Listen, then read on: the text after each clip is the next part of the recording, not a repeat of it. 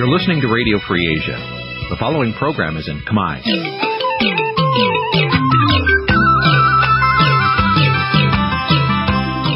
នេះជាកម្មវិធីផ្សាយវិទ្យុអាស៊ីសេរីនេះជាកម្មវិធីផ្សាយរបស់វិទ្យុអាស៊ីសេរីជាភាសាខ្មែរវិទ្យុអាស៊ីសេរីសូមស្វាគមន៍លោកអ្នកនាងទាំងអស់ពីរដ្ឋធានី Washington នៃសហរដ្ឋអាមេរិក ចា៎នាងខ្ញុំម៉ៅសុធានីសូមជម្រាបសួរលោកអ្នកនាងកញ្ញាអ្នកស្ដាប់ទាំងអស់ពីរដ្ឋធានី Washington ចា៎នាងខ្ញុំសូមជូនកម្មវិធីផ្សាយសម្រាប់ព្រឹកថ្ងៃអង្គារថ្ងៃពេញបូរមី15កើតខែមករាឆ្នាំម្សាញ់បញ្ញស័កពុទ្ធសករាជ2557ហើយដល់ត្រូវនឹងថ្ងៃទី17ខែធ្នូគ្រិស្តសករាជ2013លោកអ្នកនាងជាទីមេត្រីជាកិច្ចចាប់ផ្ដើមនេះនាងខ្ញុំសូមអញ្ជើញលោកអ្នកនាងកញ្ញាស្ដាប់ព័ត៌មានប្រចាំថ្ងៃ។ កម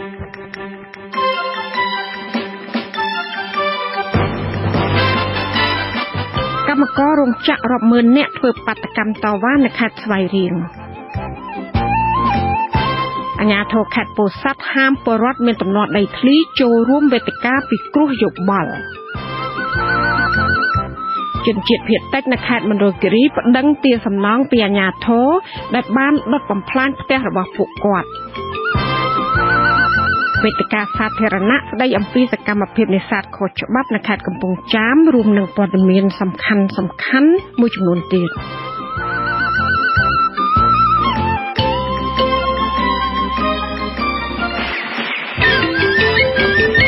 បន្តទៅទៀតនេះនាងខ្ញុំម៉ៃសុធានីសូមជូនព័ត៌មានពិស្ដា ចាកម្មករកម្មការនីរោងចក្រនៅតំបន់សេដ្ឋកិច្ចពិសេស Manhattan និងតំបន់សេដ្ឋកិច្ចពិសេសតៃសេនៅក្រុងបាវិតប្រមាណជាជាង30000នាក់បានប្រមូលផ្ដុំគ្នាធ្វើកតកម្មដើម្បីតវ៉ាទាមទារលក្ខខណ្ឌការងារកាលពីម្សិលមិញប៉ុន្តែមន្ត្រីការងារខេត្តថ្លៃរៀងអះអាងថា គេពុំទាន់បានដឹងពីមូលហេតុច្បាស់លាស់នៃការធ្វើកតកម្មព្រមព្រំគ្នារបស់កម្មករទាំងនោះនៅឡើយទេ លោកហ៊ុំចម្រើនរីកា តំណាងកម្មករថ្លែងនៅថ្ងៃទី16ធ្នូថាក្រុមកម្មករមកពី27រោងចក្ររួមមានកម្មករផលិតកង់កម្មករផលិតពូកកម្មករផលិតអំពូលភ្លើងកម្មករធ្វើតុក្កតាកម្មករកាត់ដេរនិងកម្មកររោងចក្រផលិតស្បែកជើងជាដើម ពួកគេធ្វើកោតកម្មដោយឈរតវ៉ានៅខាងមុខតំបន់សេដ្ឋកិច្ចពិសេសតាមបណ្ដោយផ្លូវជាតិលេខ1ហើយការតវ៉ាធ្វើកោតកម្មព្រមព្រមគ្នាដូចនេះដោយសារភាគីក្រុមហ៊ុនមិនបានដំឡើងប្រាក់ខែឲ្យពួកគេតាមការកំណត់លោកអ៊ុតភត្រាបញ្ជាក់បន្ថែមថាក្រុមកម្មករផលិតកង់ស្មាតតិចជាអ្នកផ្ដើមផ្ទុះកំហឹងទាមទារមុនគេដោយសារខឹងសម្បាក្រុមហ៊ុនមួយនេះមិនបានកែលម្អលក្ខខណ្ឌការងារដែលភាគីក្រុមហ៊ុនបានសន្យាយល់ព្រមជាមួយកម្មករនាពេលកន្លងមក។ លក្ខខណ្ឌការងារដែលក្រុមកម្មករទាមទារមានដូចជា ស្នើឲ្យក្រុមហ៊ុនបើកប្រាក់ខែនៅថ្ងៃធ្វើការងារស្នើដកលោកចិនប៉ាវចេញពីតំណែងមន្ត្រីការងាររបស់រោងចក្រឲ្យក្រុមហ៊ុនរៀបចំកែលម្អម៉ាស៊ីនបឺតកម្ដៅផ្ដល់ប្រាក់ខែលើកទឹកចិត្តកម្មករ5ដុល្លារក្នុងមួយខែឲ្យក្រុមហ៊ុនបញ្ឈប់កិច្ចសន្យារយៈពេលខ្លី និងប្រាក់ខែបន្ថែមមកនៅថ្ងៃឈប់សម្រាកនិងថ្ងៃសៅរ៍អាទិត្យឲ្យបានទ្វេដងជាដើមលោកអ៊ុតភេត្រាបន្តថាក្រុមកម្មករធ្វើកោតកម្មបន្តរៀលដាលពីរោងចក្រផលិតកង់ស្មាតតិចឆ្លងទៅបណ្ដារោងចក្រនានារហូតដល់ម៉ោងប្រមាណជិត5រសៀលទើបកម្មកររំសាយត្រឡប់ទៅផ្ទះវិញពីមុនហ្នឹងកោតកម្មថាតែរោងចក្រហ្នឹងគឺគាត់អត់អនុវត្តអា13ចំណុចពីមុនហ្នឹងគឺនៅដដែលអញ្ចឹងកម្មករគាត់ទៀមទាឲ្យក្រុមហ៊ុនហ្នឹងអនុវត្តក្រោយពីចរចាហើយហ្នឹងយើងក៏បានជួបចរចាបន្តបន្តទៀតក្រុមហ៊ុនធ្វើអត់បានណាបងបាទគោលបំណងសំខាន់គឺរឿងឆ្នាំពេទ្យដែលបន្ទប់ទឹកដំបង តាក់ទងនឹងបញ្ហាកម្មករធ្វើកោតកម្មនេះអនុប្រធានមន្ទីរការងារខេត្តស្វាយរៀងលោកអ៊ូសុខឿនមានប្រសាសន៍ថាក្រុមកម្មករធ្វើកោតកម្មបង្កឡើងដោយសារក្រុមកម្មករមួយក្រុមបានលួចគប់ទៅលើដំបូលរោងចក្រក្បែរខាងរបស់ខ្លួនបង្កឲ្យកម្មករក្នុងរោងចក្រមានការភ្ញាក់ផ្អើលហើយបានចេញមកខាងក្រៅលោកបន្តថាដោយសារឃើញស្ថានភាពបែបនេះទើបថៅកែរោងចក្របានសម្រេចចិត្តបិទរោងចក្រឲ្យកម្មករឈប់សម្រាកមួយថ្ងៃត្រឡប់ទៅផ្ទះវិញតែម្ដង នៅមហាដានហ្នឹងវាមាន20រោងចក្រដែលកំពុងដំណើរការប៉ុន្តែចិត្តត្រឹមម៉ោង3នេះគឺថាឲ្យសម្រាប់ដល់16រោងចក្រហើយដល់ដល់តែ4រោងចក្រទេដែលឲ្យ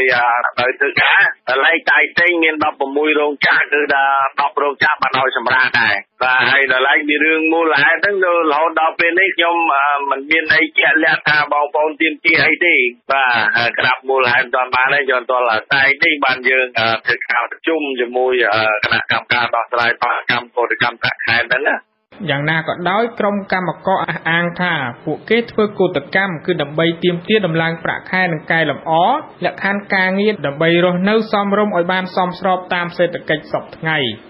ក្រុមកម្មករឲ្យដឹងថានៅយប់ថ្ងៃដដែលនេះមានក្រុមអាជ្ញាធរមូលដ្ឋានបានចុះទៅរៀបរៀងកម្មករតាមផ្ទះដោយមិនឲ្យពួកគេចេញទៅធ្វើកោតកម្មបន្តនៅថ្ងៃបន្ទាប់នោះឡើយទោះជាយ៉ាងនេះក្តីក្រុមកម្មករបញ្ជាក់ថាពួកគេនឹងបន្តធ្វើកោតកម្មទៀមទាព្រមគ្នានៅថ្ងៃទី17ទៀតគឺបន្តទៀមទាលុះណាតែក្រុមហ៊ុនដោះស្រាយសមរម្យទើបក្រុមកម្មករបញ្ឈប់ការតវ៉ាខ្ញុំហុំចម្រើនវុទ្ធុអាស៊ីសេរីរាយការណ៍ពីខេត្តព្រៃវែង ប្រជាពលរដ្ឋមានបញ្ហាដីធ្លីជាមួយនឹងក្រុមហ៊ុន MDS របស់លោកអង្ញាត្រីភិបនៅខេត្តពោធិ៍សាត់ប្រមាណជា100នាក់បានប៉ះទង្គិចជាមួយនឹងកម្លាំងសមត្ថកិច្ចមួយប្រាវបណ្ដាលឲ្យស្ត្រីម្នាក់ឆ្លោះកជើងខាងឆ្វេងកាលពីព្រឹកថ្ងៃទី16ខែធ្នូម្សិលមិញ។ មន្ត្រីអង្គការសិទ្ធិមនុស្សបានចាត់ទុកសកម្មភាពរារាំងរបស់អាជ្ញាធរនិងកម្លាំងសមត្ថកិច្ចមិនឲ្យប្រជាពលរដ្ឋមានបញ្ហាពិតប្រាកដចូលទៅស្ដាប់ឬក៏បង្ហាញពីទុកកង្វល់របស់ខ្លួននៅក្នុងវេទិកាផ្សព្វផ្សាយនិងពិគ្រោះយោបល់របស់ក្រុមប្រឹក្សាខេត្តនេះគឺជាការបំបិទសិទ្ធិបញ្ចេញមតិលោកចិនជាថាមានសេចក្តីរាយការណ៍ព័ត៌មាននេះ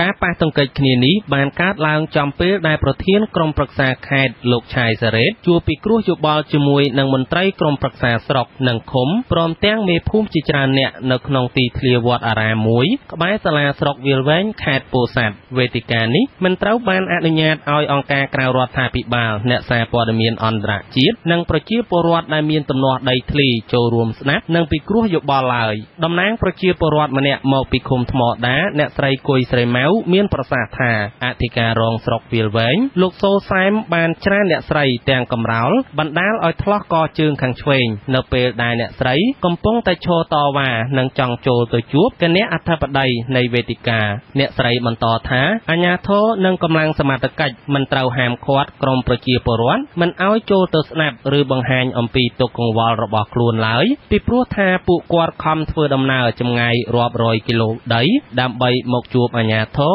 ជួយដោះស្រាយសូមរដ្ឋាភិបាលជួយដោះស្រាយឃុំសង្គមថ្មីនៅឃុំថ្មដាស្រុកវាវែងខេត្តពោធិ៍សាត់ផងខ្ញុំមកនេះចង់បានទាមទារយកយុទ្ធធម៌បងប្អូនប្រជាពលរដ្ឋឃុំថ្មដានឹងវិញក្រមប្រជាពលរដ្ឋដែលប្រណាប់ដោយបដាពាក្យស្លោកនិងឧបករណ៍បំពងសម្លេង បានស្រែកព្រមព្រមគ្នាឲ្យក្រុមហ៊ុន ប្រគល់ដីជូនប្រជាពលរដ្ឋវិញដោយគ្មានលក្ខខណ្ឌនិងបានស្រែកចំអកឲ្យរាជរដ្ឋាភិបាល ថាមានសិទ្ធិអំណាចតូចជាងក្រុមហ៊ុនទើបដំណោះស្រាយដីធ្លីរបស់ពួកគាត់នៅតែបន្តអូសបន្លាយរហូតមកដល់បច្ចុប្បន្ន one. ឆ្លើយតបនឹងបញ្ហានេះនាយករដ្ឋបាលសាលាស្រុកវាលវែងលោកអ៊ុំស៊ីមមានប្រសាសន៍បញ្ជាក់ថាដីសម្បត្តិសេដ្ឋកិច្ចរបស់ក្រុមហ៊ុន MDS បានធ្វើឲ្យប៉ះពាល់ដល់ដីប្រជាពលរដ្ឋចំនួន3ឃុំគឺឃុំអូសោមអន្លង់រៀបនិងឃុំថ្មដាក៏ប៉ុន្តែរហូតមកដល់បច្ចុប្បន្នក្រុមហ៊ុនបានធ្វើការដោះស្រាយជូនប្រជាពលរដ្ឋជិត90%ហើយផ្ទៃដីដែលនៅមានទំនាស់សល់មិនលើសពី50ហិកតាឡើយលោកបន្តថាការដោះស្រាយបញ្ហាហាដីធ្លីត្រូវតែធ្វើឡើងតាមដំណាក់កាលគឺមិនអាចលើកគ្នារាប់រយនាក់មកសុំការដោះស្រាយភ្លាមៗដូច្នេះបានទេមន្ត្រីសម្របសម្រួលសមាគមអាត6ប្រចាំខេត្តពោធិ៍សាត់លោកភួងសុធាមានប្រសាសន៍ថា វេទិកាដែលរៀបចំឡើងដោយក្រុមប្រឹក្សាខេត្តនេះគួរតែត្រូវបានអនុញ្ញាតឲ្យមន្ត្រីអង្គការក្រៅរដ្ឋាភិបាល និងប្រជាពលរដ្ឋចូលស្ដាប់ឬលើកឡើងនៅបញ្ហារបស់ខ្លួនទើបប្រសើរបាទវេទិកាសាធារណៈនេះយើងឃើញថាគ្រាន់តែជាការរៀបចំមួយរបស់ក្រុមប្រឹក្សាខេត្តដែលវាពុំទទួលបានដំណោះស្រាយអ្វីទាំងអស់ពីព្រោះអីយើងឃើញថាដោយសមាជិកក្រុមប្រឹក្សាបានចេញទៅផ្លូវក្រោយទៅវិញខណៈដែលប្រជាពលរដ្ឋគាត់បានធ្វើការមកតវ៉ាវេទិកាផ្សព្វផ្សាយនិងពិគ្រោះយោបល់របស់ក្រុមប្រឹក្សាខេត្តពោធិ៍សាទត្រូវបានបញ្ចប់ដោយតក់ក្រហល់នៅម៉ោងប្រហែលជា10កន្លះបន្ទាប់ពីមានក្រុមប្រជាពលរដ្ឋជាច្រើនអ្នកឈរស្រែកតវ៉ារឿងដីធ្លី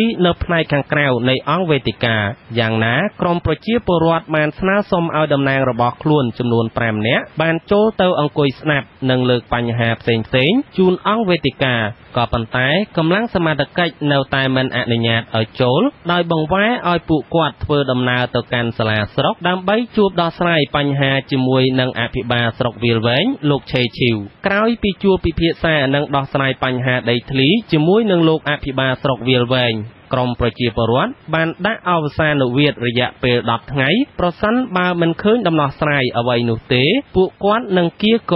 មនុស្សកាន់តែច្រើនឡើង ដើម្បីធ្វើការតវ៉ាបន្តទៀតខ្ញុំបាទចិនជេថាវិទ្យុអាស៊ីសេរីរាយការណ៍ពីស្រុកវាលវែងខេត្តពោធិ៍សាត់ ចាលោកនាងជាទីមេត្រីអាជ្ញាធរឃុំស្រែណូយនិងខេត្តសៀមរាបបានរារាំងដំណើរប្រជាពលរដ្ឋប្រមាណ80នាក់មិនអោយបន្តឡើងទៅតវ៉ារឿងដីធ្លី នៅទីក្រុងភ្នំពេញបានទេកាលពីព្រឹកថ្ងៃច័ន្ទទំនាស់ដីធ្លីរវាងប្រជាពលរដ្ឋនិងទាហាននៃវរៈធនាតូចលេខ254បានកើតមានរយៈពេលជិត1ឆ្នាំមកហើយដោយនៅមិនទាន់មានដំណោះស្រាយណាមួយសមរម្យ លោកហងសាយុទ្ធមានសេចក្តីរាយការណ៍អំពីរឿងនេះ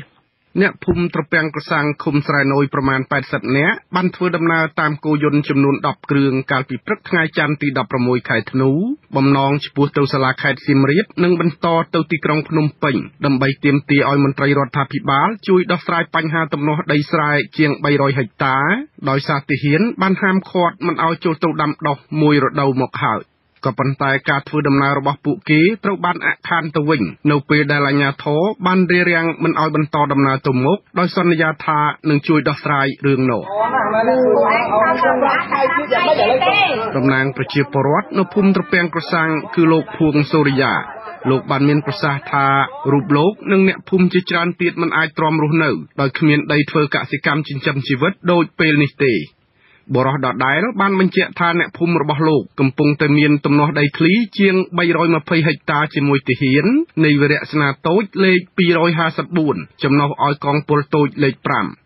កងទាហានបានហាមឃាត់ប្រជាពលរដ្ឋមិនឲ្យចូលទៅដាំដុះមួយរដូវមកហើយដីដែលទាហានបានរំលោភយកកន្លងមកនៅចំណុចវាលសង្កែធំហ្នឹងចំនួន321ហត្ថហើយប្រជាជនមានចំនួន95គ្រួសារហើយនៅអូផ្អាវប្រជាជនមាន112គ្រួសារហើយដីមាន255ហត្ថ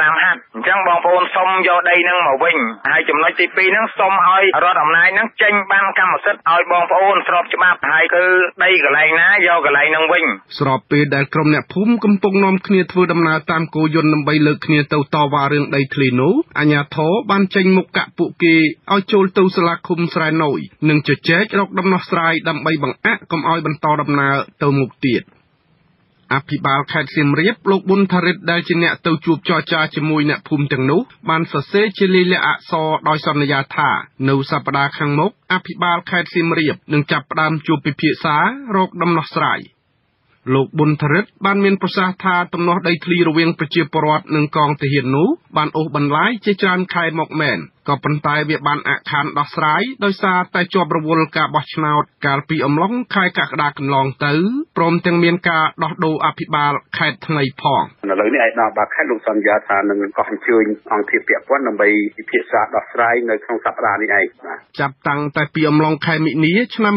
2013ប្រជាពលរដ្ឋចំនួន95គ្រួសារនៅភូមិត្រពាំងក្រសាំងឃុំស្រែណូយបានកើតមានទំនាស់ដីធ្លីជាមួយទាហាននៃវរៈស្នាតូចលេខ254 ដោយកាលនោះក្រមទាហានបានហាមឃាត់អ្នកភូមិយ៉ាងតឹងតែងមិនឲ្យចូលទៅដាំដុះលើដីរបស់ពួកគេទេព្រមទាំងបាញ់គំរាមសម្លុតទៅលើអ្នកភូមិផងកាលពីចុងខែវិច្ឆិកាឆ្នាំ2013កន្លងទៅគណៈកម្មការជាតិដោះស្រាយវិវាទដីធ្លីរបស់រដ្ឋាភិបាល ដែលធ្វើការរួមគ្នាជាមួយសមាគមការពារសិទ្ធិមនុស្សអាត់ហុកបានចុះទៅពិនិត្យនិងរកដំណោះស្រាយរឿងចំនួនដីធ្លីនោះម្ដងមកហើយក៏ប៉ុន្តែមិនទាន់មានផលវិជ្ជមានទេ កំណត់ហេតុចុះថ្ងៃទី26ខែមិនិនាឆ្នាំ2013របស់សាលាខេត្តសៀមរាបដែលកាលនោះលោកស៊ូភិរិនជាអភិបាលខេត្តបានសន្យាថានឹងធ្វើការចុះពិនិត្យមើលឲ្យបានច្បាស់លាស់ហើយចំពោះប្រជាពលរដ្ឋណាដែលបានកាន់កាប់ដីនៅមុនថ្ងៃទី7ខែឧសភាឆ្នាំ2012គឺនឹងត្រូវជ្រៀលចេញពីតំបន់គ្រប់គ្រងដោយទាហានព្រមទាំងប្រគល់ទៅឲ្យប្រជាពលរដ្ឋវិញ ខ្ញុំហងសាវយុទ្ធវិទ្យុអាស៊ីសេរីរាយការណ៍ពីខេត្តសៀមរាបលោកនាងជាទីមេត្រីចំណែកក្រុមសហគមន៍ជនជាតិភ្នងនៅភូមិចំនួន3ក្នុងខេត្តមណ្ឌលគិរី កំពុងប្រមូលស្នាមមេដៃអ្នកភូមិដើម្បីគ្រប់គ្រងញត្តិជាថ្មីទៀតទាមទារឲ្យអាជ្ញាធរខេត្តដោះស្រាយសំណើបដូរភូមិរបស់ប្រជាពលរដ្ឋពីក្នុងព្រៃមករស់នៅតាមផ្លូវអភិវឌ្ឍដោយក្រុមហ៊ុនសម្បទាន។ ចាតំណាងអ្នកភូមិអះអាងថាការយឺតយ៉ាវឆ្លើយតបសំណើប្រជាពលរដ្ឋនឹងនាំឲ្យកើតមានអំពើរំលោភសិទ្ធិជនជាតិដើមភាគតិចកាន់តែធ្ងន់ធ្ងរពីសំណាក់អាជ្ញាធរលោករដ្ឋាភិបាលរាយការណ៍ស្នាមមេដៃប្រជាពលរដ្ឋ160គ្រួសារ បានផ្តិតជាថ្មីលើញត្តិទាមទារឲ្យអាជ្ញាធរខេត្តមណ្ឌលគិរីដោះស្រាយសំណើបដូរភូមិរបស់ពលរដ្ឋជនជាតិដើមភាគតិចតំណាងអ្នកភូមិលោកសុនច័ន្ទថេងនៅថ្ងៃច័ន្ទទី16ខែធ្នូមានប្រសាសន៍ថាញត្តិទាមទារនេះនឹងដាក់ជូនមន្ត្រីសាលាខេត្តនៅសប្តាហ៍ក្រោយ លោកបន្តថាថ្ងៃកំណត់រុះរើលំនៅឋានប្រជាពលរដ្ឋដោយវិធានការក្តៅលើកទី3របស់ក្រមសមត្ថកិច្ចបានពន្យាពេលក៏ប៉ុន្តែអ្នកភូមិនៅតែបារម្ភចំពោះសុវត្ថិភាពនិងការតាំងទីលំនៅរបស់ពលរដ្ឋប្រសិនអាជ្ញាធរខេត្តមិនឆ្លើយតបចំពោះសំណើអ្នកភូមិដែលពាក្យសំណើនឹងទៅនឹងបាត់ក្រោយអត់មានដឹងថាឲ្យឬមិនឲ្យទេស្ងាត់ជាបឥឡូវហ្នឹងប្រជាពលរដ្ឋហ្នឹងផ្ដិតមេដៃមេគ្រូសាមេគ្រូសាហ្នឹងរងថារុញទៅបន្ថែមទៀតកាលពីដើមខែធ្នូតំណាងប្រជាពលរដ្ឋភូមិរណែងភូមិខ្ទង់និងភូមិអូព្រះក្នុងឃុំស្រែឈូកស្រុកកៅសីមា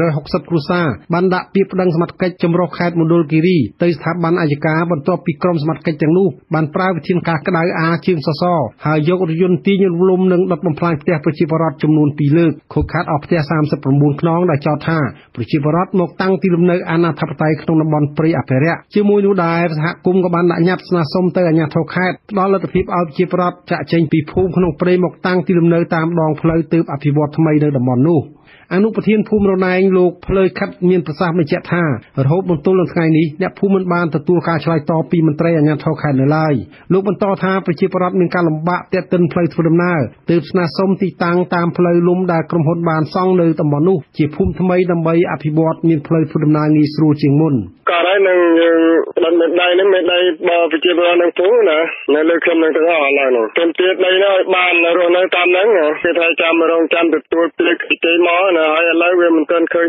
ពាក្យគេមកដល់យើងណាឆ្លើយតបចំពោះករណីនេះនាយការិយាល័យរបៀបនៃសាលាខេត្តមណ្ឌលគិរីលោកទាវស្រេងហ៊ុនមានប្រសាសន៍បញ្ជាក់ថាអភិបាលខេត្តបានធ្វើចំណារលើលិខិតស្នើសុំរបស់ពលរដ្ឋបញ្ជូនទៅអាជ្ញាធរស្រុកឲ្យត្រួតពិនិត្យមើលពីអត្តសញ្ញាណប្រជាពលរដ្ឋអ្នកស្នើសុំជាដំបូងលោកបន្តថាអាជ្ញាធរខេត្តនឹងរៀបចំធ្វើការងារនេះជាមួយប្រជាពលរដ្ឋមន្តកិច្ចនឹងខេត្តបានបកគលទៅឲ្យស្រុកធ្វើការហើយពិនិត្យមើលទៅលើបញ្ជីឈ្មោះប្រជាពលរដ្ឋដែលគាត់ស្នើសុំមកហ្នឹង ថាតើជាប្រជាពលរដ្ឋនៅទីកន្លែងហ្នឹងជាក់ស្ដែងពិតឬក៏អត់មន្ត្រីសម្របសម្រួលសមាគមការពារសិទ្ធិមនុស្សអាត6ខេត្តមណ្ឌលគិរីលោកសុករដ្ឋាមានប្រសាសន៍រំលឹកថាមន្ត្រីអាជ្ញាធរខេត្តគួរប្រញាប់ដោះស្រាយសំណើរបស់ពលរដ្ឋជៀសវាងអូសបន្លាយបញ្ហាតទៅទៀតលោកបន្តថាអាជ្ញាធរគួរលើកទឹកចិត្តឲ្យប្រជាពលរដ្ឋរស់នៅតាមដងផ្លូវធ្វើដំណើរងាយស្រួលអភិវឌ្ឍភូមិឃុំស្របតាមគោលនយោបាយអភិវឌ្ឍមូលដ្ឋានតាមរយៈក្រុមហ៊ុនសម្បទានសេដ្ឋកិច្ចនិងកាត់បន្ថយភាពក្រីក្ររបស់ពលរដ្ឋយើងសម្គាល់ឃើញថាគួរតែមានដំណោះស្រាយណាមួយឲ្យវាសមទៅនឹងនីតិវិធីច្បាប់ណាបច្ចុប្បន្នគាត់កំពុងតែជួប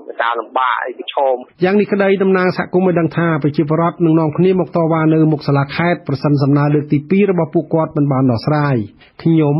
រដ្ឋាវិសាលវិទ្យុអាស៊ីសេរីរាយការណ៍ពីខេត្តរតនគិរី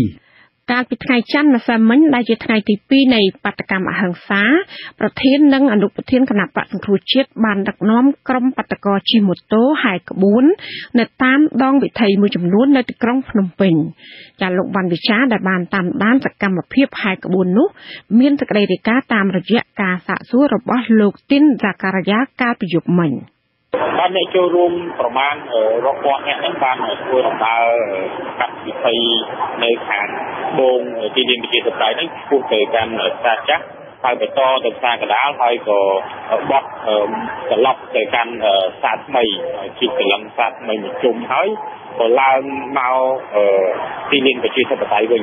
ហើយដោយបញ្ជាក់ថាក្រមបាតកោទាំងអស់នេះគឺគាត់មានគោលដៅសំខាន់មួយគឺទៅផ្សារទាំង3ហ្នឹងតែ សារសំខាន់នយោបាយរបស់គាត់នេះគឺទាមទារឲ្យលោកនាយករដ្ឋមន្ត្រីហ៊ុនសែននេះគ្រប់ចេញពីតំណែងហើយនឹងមានឲ្យមានការបោះឆ្នោតឡើងវិញបាទប៉ុន្តែអ្វីដែលគួរឲ្យចាប់អារម្មណ៍នោះមិនស្រីជាន់គួរគណៈបករួមជាតិលោកអេងឆៃអៀងមុនពេលដែលលោកតំនាងទីលោកកម្មវិការមកដល់ទីលានប្រជាធិបតេយ្យម៉ោងជាង5លោកអេងឆៃអៀងបានបញ្ជាក់ថាបើសិនជាមិនមានការយល់ព្រមពីសំណាក់គណៈបកកណ្ដាលអំណាចពីសំណាក់លោកនាយករដ្ឋមន្ត្រីហ៊ុនសែនទេ ក្រុមបាតកោនឹងទៅបិទទៅកន្លែងណាមួយនេះគឺជាការលើកឡើងរបស់លោកអេងថៃអៀងប៉ុន្តែលោកលើកនេះគាត់តែជាការបះឲ្យអឺបាតកោដឹងតែប៉ុណ្ណោះប៉ុន្តែពេលដែលលើកឡើងក៏មានការស្វាគមន៍ពីក្រុមបាតកោដែរលោកអេងថៃអៀងបញ្ជាក់ថាមិនទាន់ដល់ពេលទេប៉ុន្តែ ចំណុចនេះហើយដែលលោកឆ្លើយសារទៅប្រាប់គណៈបកអំណាចនេះគឺជាការបញ្ជាក់របស់គាត់បាទការហាយក្បួនជិះម៉ូតូហ្នឹងមានន័យថាជាប្រជាប្រដ្ឋនៅទីក្រុងភ្នំពេញឬក៏មានអ្នកមកតាមពីខេត្តដែរបាទមានទាំងក្រុងភ្នំពេញមានទាំងអ្នកនៅតាមខេត្តហើយក៏មានអ្នកអឺដើររួមជាមួយនឹងលោកសំរងស៊ីនិងលោកសំខាដែរប៉ុន្តែក្បួនបាតកម្មហ្នឹងដូចជាមានលក្ខណៈលឿនហើយម៉ូតូហ្នឹងក៏លឿនលឿនដែរ ពេលដែលក្បួនហែមកដល់ផ្សារថ្មីព្រាមចាប់ដើមចូលដំណើរត្រឡប់មកវិញរហូតទៅដល់លោកសំរងស៊ីលោកកម្មថាមកដល់ទីលានវិទ្យាសាស្ត្រផ្សាយសារនយោបាយចប់សពគ្រប់ទៅទុយក្បួននឹងអត់ទាន់ចប់មកដល់ទីលានវិទ្យាសាស្ត្រទៀតផងលោកមានដឹងនៅថ្ងៃស្អែកគេមានផែនការធ្វើអ្វីខ្លះទៀតបាទថ្ងៃស្អែកឮថានឹងមានការហែក្បួនបន្តទៀតប៉ុន្តែលោកសំរងស៊ីបានបញ្ជាក់ប្រាប់ក្រុមបាតកោនិងសាធារណជនរបស់ថា ហែក្បួនប៉ុន្តែហែក្បួនចុងពេលផ្សេងទៀតលោកលើកឡើងតាំងពីអាចប្រមូលជាទីគោឬតុកតុកអីហែក្បួនអញ្ចឹងប៉ុន្តែយើងមិនដឹងថាកម្រិតនៃការប្រមូលបានប៉ុណ្ណាទេបាទជឿខ្ញុំបញ្ជាក់ចុងក្រោយនេះគឺមានប្រជាពលរដ្ឋមកពីតាមបណ្ដាខេត្តហ្នឹងជាច្រើនបរិករហ្នឹងរាប់រយអ្នកដែរកំពុងតែសម្រាប់នៅទីលានជាធំដៃហើយពួកគាត់ជជែកតាមនយោបាយគេដែលសួរគាត់ជជែកគាត់ទៅគាត់ថាពីយប់មកហើយដែលឃើញមានខាត់ដឹកនាំគណៈបព្វជិជាតិណាចង់មកជួបជាមួយពួកគាត់ទេពេលដែលខ្ញុំសួរសំណួរថាឃើញបាតកោនៅថៃគេមានការទាំងមេដឹកនាំបាតកម្មទាំងទាំងថ្នាក់ដឹកនាំរបស់គណៈបកប្រឆាំងនៅថៃនេះគេចូលរួមបាតកម្មទាំងជុំថ្ងៃមួយក្រុមបាតកោក៏លើកឡើងថាគាត់មិនប្រកាន់កាត់ដឹកនាំគណៈបកប្រជាជាតិថាមិនចូលរួមមួយគាត់ទេប៉ុន្តែសួរថាតើពួកគាត់ នឹងត្រឡប់ទៅវិញទេពួកគាត់ថាគាត់ថ្ងៃណាមួយពួកគាត់នឹងត្រឡប់ទៅវិញហើយនឹងដូរគ្នាមកវិញយើងមិនទាន់ទទួលបានដំណឹងយ៉ាងម៉េចទេបាទតាមលើប្រភពក្រៅផ្លូវការមួយថាអាជ្ញាធររាជធានីភ្នំពេញនេះក៏ពុំមានក្រុមបាតកោទាំងអស់ដែរថាมันអនុញ្ញាតឲ្យនៅទីនោះទៀតទេពីព្រោះថាគណៈបកសង្គមជាតិមិនទាន់បានគុំច្បាប់មិនទាន់បានអីយើងមិនទាន់អាចតាក់ទងក្នុងការបញ្ជាក់ឲ្យជាផ្លូវការតែម្ដងទេបាទជំនាញបាទសូមអរគុណច្រើនលោកវ៉ាន់វិជាបាទបាទអរគុណលោកសុខាយាបាទ ជាពាក់ព័ន្ធនឹងការធ្វើបាតកម្មដង្ហែក្បួនម៉ូតូរបស់គណៈបក្សប្រជាជាតិនៅថ្ងៃទី2ម្សិលមិញនេះមន្ត្រីជាន់ខ្ពស់រដ្ឋាភិបាលបានលើកឡើងថាគណៈបក្សប្រជាជាតិធ្វើបាតកម្មនេះគឺជារឿងខុសច្បាប់ ហើយថាគណៈបក្សប្រជាជាតិត្រូវដោះស្រាយបញ្ហាចម្រូងចម្រាសនេះដោយសន្តិវិធីល្អជាង ការលើកឡើងរបស់មន្ត្រីរដ្ឋាភិបាលនេះគឺនៅគណៈដែរគណៈបក្សប្រជាជាតិកំពុងដឹកនាំប្រជាពលរដ្ឋធ្វើបាតកម្មអហិង្សា នៅទីលានប្រជាធិបតេយ្យនិងធ្វើការដង្ហែក្បួននៅតាមដងវិថីមួយចំនួននៅរាជធានីភ្នំពេញ មន្ត្រីនាំពាក្យនៃទីស្តីការគណៈរដ្ឋមន្ត្រីនិងជារដ្ឋលេខាធិការលោកផៃសិផានមានប្រសាសន៍ថាការធ្វើបាតកម្មរបស់គណៈបក្សសង្គ្រោះជាតិនេះគឺជារឿងខុសច្បាប់ពីព្រោះថាគណៈបកនេះមិនបានគោរពទៅតាមច្បាប់ស្តីពីបាតកម្មនោះឡើយលោកផៃសិផានបញ្យល់ថាក្នុងសង្គមប្រជាធិបតេយ្យតំណាងរាជគណៈបកសង្គ្រោះជាតិត្រូវធ្វើការតស៊ូមតិនៅក្នុងសភាវិញ ប្រសើរជាងការតស៊ូមតិនៅទីលានសាធារណៈបែបនេះ។ ហើយយន្តការនៃការអនុវត្តនៅវិធីការបញ្ចេញនៃឆន្ទៈនយោបាយផកគាត់ហ្នឹងទៅតែផ្ដើមអំពីការគ្រប់ច្បាប់ហើយទី2ហ្នឹងគឺផ្ដើមកិច្ចសហប្រតិបត្តិការអានោះគឺធំណាស់រាល់កន្លែងនៃវិធីជីវិតបតៃគេតែងតែធ្វើអញ្ចឹងមានតែយុទ្ធច្បាប់ដាក់ក្នុងដប់ដៃហើយយើងធ្វើស្រានចិត្តទៀតដូច្នេះអ្វីដែលជារយៈកន្លងប្រជាពលរដ្ឋអ្នករស់នៅទីក្រុងកំពែងមានការអនុគ្រោះសម្រាប់អ្វីដែលគេគាត់បានធ្វើរួចស្រេចហើយរួមទាំងអាជ្ញាធរដែលគេគិតបានតែផ្ដល់ឱកាសសម្រាប់គាត់គួរតែនឹកឃើញអំពីការអនុវត្តច្បាប់ឲ្យមានភាពថ្លៃថ្នូរច្រើនជាងតែកំពុងតែធ្វើនឹងឯងចំណែកមន្ត្រីបកសង្គ្រោះជាតិវិញប្រកាសថាការធ្វើបាតកម្មគឺជាសិទ្ធិរបស់ប្រជាពលរដ្ឋដែលត្រូវបានធានាដោយច្បាប់រដ្ឋធម្មនុញ្ញរដ្ឋាភិបាលមិនមានសិទ្ធិហាមឃាត់ក៏ប៉ុន្តែមានទួនាទីចាំបាច់ការពារសុវត្ថិភាពជូនបាតករ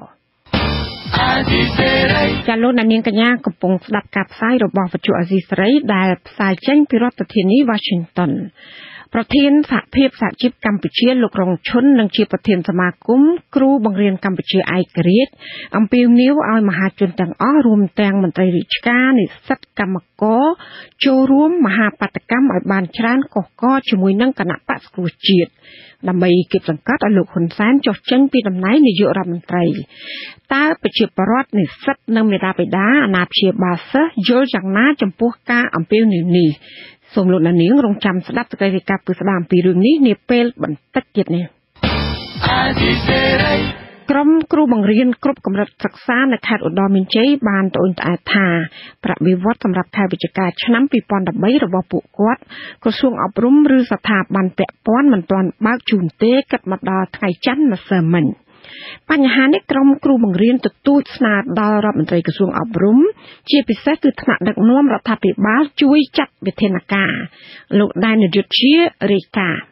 តំណាងគ្រូបង្រៀនខេត្តឧត្តរមានជ័យលោកញ៉ានសរុនបានឲ្យដឹងថាគ្រូបង្រៀនគ្រប់កម្រិតសិក្សាមានចំនួនជាង1000នាក់មកពី5ក្រុងស្រុកនាខេត្តឧត្តរមានជ័យមិនទាន់បើកប្រាក់បៀវត្សខែវិច្ឆិកាទេ លោកស្នើដល់ស្ថាប័នពាក់ព័ន្ធពិសេសក្រសួងអប់រំនិងរដ្ឋាភិបាលជួយពន្លឿនការបើកប្រាក់បៀវត្សជូនគ្រូបង្រៀនខេត្តឧត្តរមានជ័យឲ្យបានឆាប់លោកញ៉ានសរុនបង្រៀននៅសាលាបឋមសិក្សារំជែកស្រុកអន្លង់វែងបន្ថែមថាការបើកប្រាក់បៀវត្សយឺតយ៉ាវបានប៉ះពាល់ដល់អារម្មណ៍គ្រូបង្រៀនធ្ងន់ធ្ងរព្រោះគ្មានថវិកាសម្រាប់ចំណាយក្នុងជីវភាពប្រចាំថ្ងៃ លោកបន្តថាការបើកប្រាក់ខែយឺតជូនគ្រូបង្រៀនក៏អាចប៉ះពាល់ដល់គុណភាពអប់រំរបស់សិស្សដោយសារតែគ្រូបង្រៀនមិនបានបំពេញកាតព្វកិច្ចរបស់ខ្លួនឲ្យបានពេញលេញជាដើមផ្ដើមពីបញ្ហានេះគ្រូបង្រៀនខេត្តឧត្តរមានជ័យច្រើនទៀតក៏បានទទូចដល់លោកនាយករដ្ឋមន្ត្រីហ៊ុនសែននិងថ្នាក់ដឹកនាំក្រសួងអប់រំជួយជំរុញបើកប្រាក់បៀវត្សជូនគ្រូបង្រៀនឲ្យបានទៀងទាត់តាមខែនីមួយៗ ពីរដ្ឋាភិបាលដូចជាក្រសួងអប់រំនឹងជួយធ្វើយ៉ាងណាឲ្យមានការបើកប្រាក់វិវត្តនឹងឲ្យមានភាពត្រឹមត្រូវហើយនឹងកុំឲ្យមានការបើកយឺតជាពិសេសដូចជារឿងឆ្នាំទៅអីគឺការបើកប្រាក់វិវត្តសម្រាប់មន្ត្រីរាជការនៅក្នុងខេត្តដល់មានជ័យនេះក្នុងវិស័យអប់រំនឹងគឺថាយឺតរៀងរាល់ខែកាលណាយើងធ្វើរបៀបនេះយូរយូរទៅវាជាទម្លាប់អាក្រក់មួយសម្រាប់អ្នកបំពេញភារកិច្ចហើយទូយ៉ាងណាមន្ត្រីក្រសួងអប់រំនិងលោកអឹងបូរ៉ាត់ប្រធានមន្ត្រីអប់រំខេត្តឧត្តរមានជ័យមិនធ្វើអត្ថាធិប្បាយទេជុំវិញការយឺតយ៉ាវបើកប្រាក់បៀវត្សខែវិច្ឆិកាជូនគ្រូបង្រៀននេះទេប៉ុន្តែលោកនួនហ៊ុនឡាយប្រធានការិយាល័យផែនការកណន័យមន្ទីរអប់រំខេត្តឧត្តរមានជ័យ បានទម្លាក់កំហុសទៅលើថ្នាក់ដឹកនាំខេត្តឧត្តរមានជ័យចំពោះការយឺតយ៉ាវនេះបាទអាណត្តិអាណត្តិបញ្ជូនទៅដល់សាលាខេត្តយូរហើយប៉ុន្តែសាលាខេត្តអត់ទាន់ច្បាស់ថាអត់ទាន់ហត្ថលេខាលើអាណត្តិអាណត្តិនេះអាណត្តិที่យើងវាយបើកប្រាក់រួមមួយខេត្តដល់បានអាណត្តិមកបានយើងចូលរដ្ឋាភិបាលដល់ពេលចូលរដ្ឋាភិបាលបានយើងចេញសាច់ប្រាក់ពីរដ្ឋាភិបាលបានយើងចែកតាមបណ្ដាស្រុកទៅស្រុកយឡៅបាទយកទៅដូចមិនបានឯកាទៅរដ្ឋមន្ត្រីទៅក្រសួងនេះមើលឲ្យដឹងព័ត៌មានថាយឺតយ៉ាវមិនមកពីថ្នាក់មន្ទីរយើងធ្វើទេយឺតយ៉ាវដល់សាខេត្តយ៉ាងណាក៏ដោយលោករងឈុនប្រធានសមាគមគ្រូបង្រៀនកម្ពុជាឯករាជ្យបានរិះគន់ថ្នាក់ដឹកនាំក្រសួងអប់រំនិងស្ថាប័នពាក់ព័ន្ធលើករណីបើកប្រាក់បៀវត្សជូនគ្រូបង្រៀននៅទូទាំងប្រទេសពិសេសនៅខេត្តឧត្តរមានជ័យមិនបានទៀងទាត់តាមខែនីមួយៗ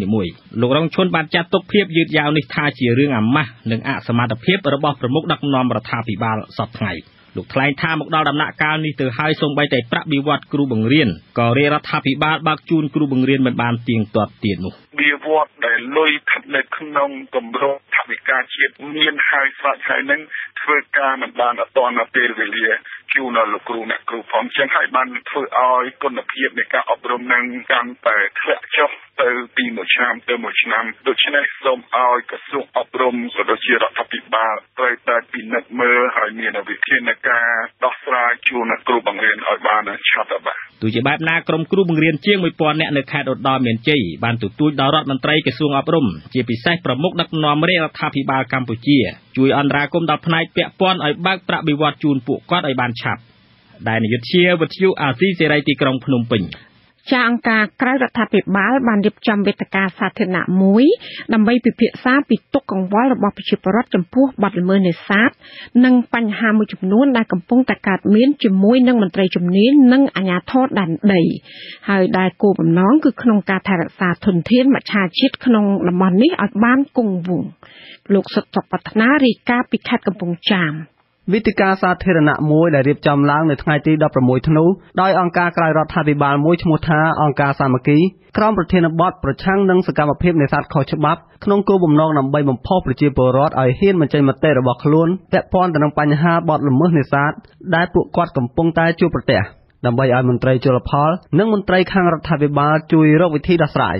នាយកប្រតិបត្តិនៃអង្គការសាមគ្គី លោកអុកអង្គគីមបានមានប្រសាសន៍ថា ការរៀបចំវេទិកានេះឡើងក្នុងគោលបំណងសំខាន់គឺដើម្បីរួមចំណែកបំពេញនូវរាល់កង្វះខាតរបស់រដ្ឋាភិបាលក្នុងការអនុវត្តច្បាប់ចំពោះករណីនេសាទនៅជុំវិញបឹងធំ ដែលជាបឹងយ៉ាងសំខាន់មួយនៅក្នុងខេត្តកំពង់ចាម ដោយមានប្រជាពលរដ្ឋរស់នៅជុំវិញចំនួន3ស្រុកគឺស្រុកកំពង់សៀម ស្រុកព្រៃឈរ និងស្រុកកងមាស។ ដែលបានប្រើប្រាស់ធនធានទឹកនិងប្រើប្រាស់ធនធានមច្ឆជាតិនៅក្នុងបឹងនោះ ជួយអនុវត្តការងារដែលរដ្ឋាភិបាលនៅខ្វះចន្លោះដូច្នេះអង្គការយើងខ្ញុំជាអង្គការក្រៅរដ្ឋាភិបាល យើងជួយអនុវត្តការងារដែលរដ្ឋាភិបាលនៅចន្លោះហើយនេះជាគ្រោះមហន្តរាយធំណាស់ដែលប្រទេសជាតិយើងជាប្រទេសចេញត្រីទឹកសាបលេខ1លើសកលលោកទៅជាប្រទេសដែលខ្វះត្រីហូបទៅវិញ លោកថ្លែងបន្តថាការបង្កើតវេទិកានេះឡើងក៏ជាចំណែកមួយដើម្បីជំរុញឲ្យប្រជាពលរដ្ឋរស់នៅទីនោះឲ្យកាន់តែក្លាហាននៅក្នុងការបង្ហាញពីទុក្ខកង្វល់របស់ខ្លួន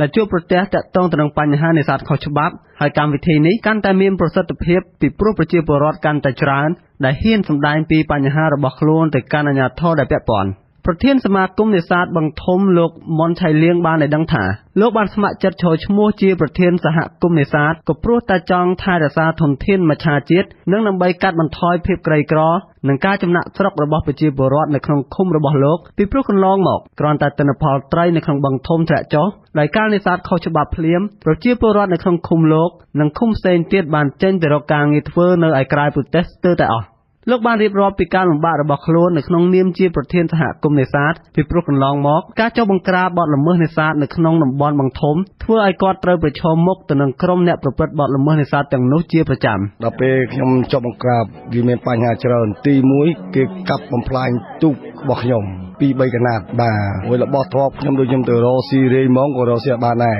ពួកបត់ល្មើសនឹងវាចាំទៅលួចតែហ្មងថ្ងៃនេះខ្ញុំអត់បាននៅក្នុងទឹកទេនៅលើគោកទេហើយប្រាក់ខែក៏គ្មានទៀតចុះបង្ក្រាបក៏គ្មានលុយបង្ក្រាបដែរមានអីទាំងអស់បានដល់ខាងសាមគ្គីគាត់បានជួយសាំងជួយម៉ាស៊ីនជួយអីហ្នឹងក្រុមប្រឹក្សាឃុំមានម្នាក់លោកឈឿនឈិនដែលបានឡើងសម្ដែងភាពមិនពេញចិត្តចំពោះចំណាត់ការបង្ក្រាបបទល្មើសនេសាទរបស់មន្ត្រីជលផលកន្លងមកថាมันមានប្រសិទ្ធភាពហើយអ្នកបំផ្លាញធនធានមច្ឆាកាន់តែថ្កុំថ្កើងឯប្រជាពលរដ្ឋដែលមិនបានប្រព្រឹត្តកាន់តែវេទនាហើយចេះតែទាមទារឲ្យប្រជាពលរដ្ឋចូលរួមរីឯច្បាប់ស្ថិតនៅតែលើក្រដាស់ដដែល នាយរងខណ្ឌរដ្ឋបាលជលផលប្រចាំខេត្តកំពង់ចាមលោកហ៊ីងសុផាន់រិទ្ធបានទទួលស្គាល់ថាមានករណីនេសាទខុសច្បាប់កន្លងមកថាពិតជាមានពិតមែនប៉ុន្តែការបង្ក្រាបមិនមានប្រសិទ្ធភាពពីព្រោះមន្ត្រីជំនាញផ្នែកជលផលមានចំនួនតិចហើយខ្វះថវិកាសម្រាប់បំពេញបេសកកម្មបង្ក្រាបម្ដងម្ដង នឹងមានករណីយកយល់មួយចំណែកអានេះបើយើងនិយាយទៅអត់ដូចជាហែកទ្រុងទេអញ្ចឹងដូចជាហែកទ្រុងខ្លួនឯងអញ្ចឹងរាល់ថ្ងៃនេះការចុះធ្វើបង្ក្រាបបាត់ល្មើសនេសាទនេះគឺថវិកាសម្រាប់បង្ក្រាបនឹងវាតិចតួចបំផុតណាតិចតួចបំផុតខ្ញុំជម្រាបថាក្នុងមួយថ្ងៃបើសិនជាខ្ញុំចេញកម្លាំងទូកមួយណាចុះបង្ក្រាបមានអាជ្ញាធរមូលដ្ឋានមានសមត្ថកិច្ច បដាអាវុធបើសិនជាខ្ញុំគ្មាន20ម៉ឺនទៅ30ម៉ឺនទៀតទេខ្ញុំមិនអាចមកបង្ក្រាបបទល្មើសមិនអាចមកចាប់ស្បែកមកបានទេសួរថាលុយនឹងនៅណាដែលឲ្យខ្ញុំចាប់នេះឃើញទេអញ្ចឹងហើយវាត្រូវតែយកពីអានេះយកទៅដាក់អានោះលោកបន្តថាការបង្ក្រាបអាចមានប្រសិទ្ធភាពក៏ត្រូវមានការចូលរួមពីសំណាក់ប្រជាពលរដ្ឋទាំងអស់ក្នុងការស្វែងយល់ពីតម្លៃរបស់មច្ឆជាតិដើម្បីចូលរួមថែរក្សាទាំងអស់គ្នាប្រធានសមាគមការពារសន្ធិមនុស្សអាត់ហុកប្រចាំខេត្តកំពង់ចាមលោកនាងសវ៉ាតបានថ្លែងនៅក្នុងពិធីនោះថា លោកចង់ឃើញនៅការបំពេញការងាររបស់មន្ត្រីដែលពាក់ព័ន្ធទាំងអស់ដោយមានការទទួលខុសត្រូវខ្ពស់ជាជាងមានបញ្ហាហើយតែងតែរុញដាក់គ្នាដោយគ្មានទំនួលខុសត្រូវនោះទោះយ៉ាងណាក៏ដោយអភិបាលរងស្រុកព្រៃឈរលោកកឹមនឿនបានថ្លែងបិទកម្មវិធីដោយលោកសង្ឃឹមយ៉ាងមុតមមថាបន្ទាប់ពីអាជ្ញាធរបានស្ដាប់ពីទុកកង្វល់របស់ប្រជាពលរដ្ឋពេលនេះនឹងអាចធ្វើឲ្យបទល្មើសនេសាទនៅក្នុងតំបន់បឹងធំ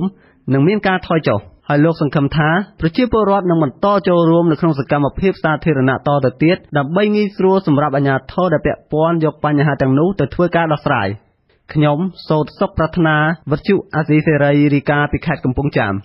ស្ត្រីខ្មែរ2នាក់រងទរណកម្មសម្រាប់សម្លៀកបំពាក់នៅកាស៊ីណូមួយក្នុងក្រុងបាងកកប្រទេសថៃស្ត្រីរងគ្រោះទាំងពីរនាក់នោះត្រូវបានគេរាយការណ៍មកថាជាប់ចោតពីបទកឹបកេងលុយកាក់ជាច្រើនលានបាត ក្រុមគ្រួសារស្ត្រីរងគ្រោះកំពុងស្វាស្វែងរកកិច្ចអន្តរាគមន៍ពីរដ្ឋាភិបាល និងអង្គការសង្គមស៊ីវិលឲ្យជួយរំដោះមកស្រុកខ្មែរវិញ